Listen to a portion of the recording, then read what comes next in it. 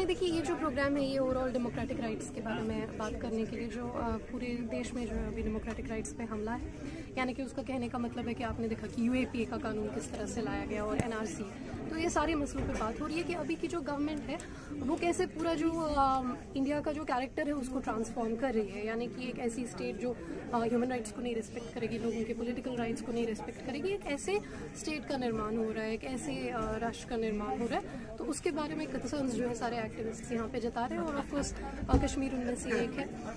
जिस तरह से लोगों को जो है आज सत्ताईस दिन हो गए लोगों के लोगों के फ़ोन नहीं है, इंटरनेट नहीं है। जिसके पास अपनी गाड़ी हो तो ठीक है, नहीं तो पब्लिक ट्रांसपोर्ट नहीं चल रहा। लोगों को एंबुलेंस कैसे बुलाएँगे, कैसे जाएँगे हॉस्पिटल इसका भी कोई गाइडलाइन नहीं है। तो वहाँ पे हर तरीके के मतलब मानव अधिकारों का तो हो ही रहा है हनन साथ में।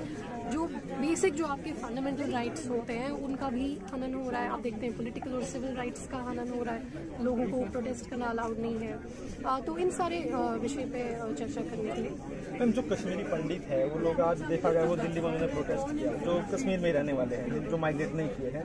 वो कहना कि तीन सौ सत्तर हटा, उसका हम खुश है, लेकिन वहाँ पे जो, अब जो दिक्कत आ रही है वहाँ पर उसको उसको रिस्टोर किया जाए, जो कम्युनिकेशन है, उसको रिस्टोर किया जाए। आप कैसे देख रहे हैं? नहीं, वो लोग एकदम सही कह रहे हैं, उनको अपना पॉइंट ऑफ़ व्यू रखने कहा कि थ्री सेवेंटी के बारे में अलग अलग पॉइंट ऑफ़ व्यू हो सकते हैं, या कॉन्स्टिट्यूशनल क्वेश्चन है, संवैधानिक प्रश्न सुप्रीम कोर्ट में है। सुप्रीम कोर्ट में हम इस पर चर्चा करेंगे हम अपना पॉइंट ऑफ़ व्यू रखेंगे।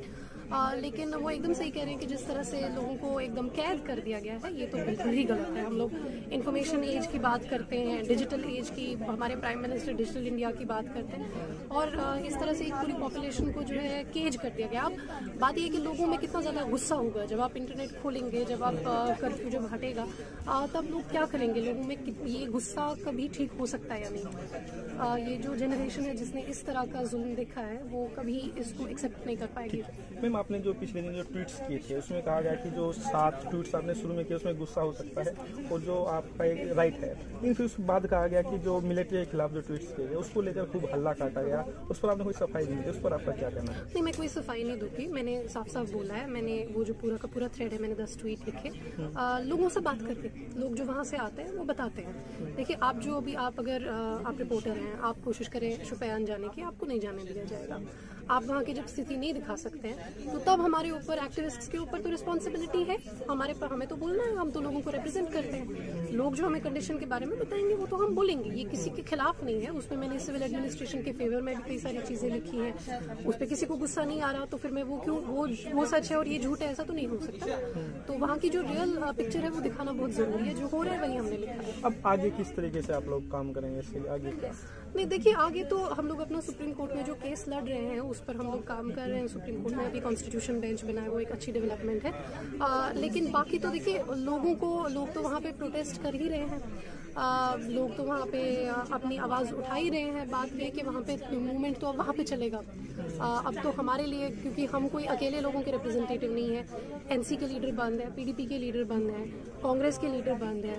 जो वहाँ पे, जो सेपरेटिस्ट लीडरशिप है, वो बंद है। तो हम तो अकेले लीडर नहीं है कि हम लीड करेंगे। हम तो अकेले लोगों के रिप्रेजेंटेटिव नहीं हैं। डेमोक्रेसी में आपके पास बहुत रिप्रेजेंटेटिव होते हैं। कोई एक रिप्रेजेंटेटिव नहीं होता। तो उसी तरह से हम लोग अकेले क्या कर सकते हैं? जब सभी लीडर्स बन रहेंगे तो जब सभी लीडर्स को छोड़ा जाएगा तब आगे मूवमेंट चल सकती है। अभी एक आखिरी सवाल ले रहा एनआरसी को लेकर आप किस तरह से आज जो है एनआरसी का जो लिस्ट जारी किया उन्नीस लाख लोगों को बाहर किया गया आप किस तरह से लेकर देखिए ये एकदम एक कॉम्युनल तरीके से गवर्नमेंट जो है इस चीज़ को इम्प्लीमेंट कर रही है। लोगों को जो है उनकी रिलीजियस आइडेंटिटी के बेसिस पर उनको क्वेश्चन किया जा रहा है। और जो बांग, जो बांग्ला स्पीकिंग मुस्लिम है, असम में बहुत सारे ऐसे लोग हैं जो बांग्ला बोलते हैं, जो मुसलमान हैं।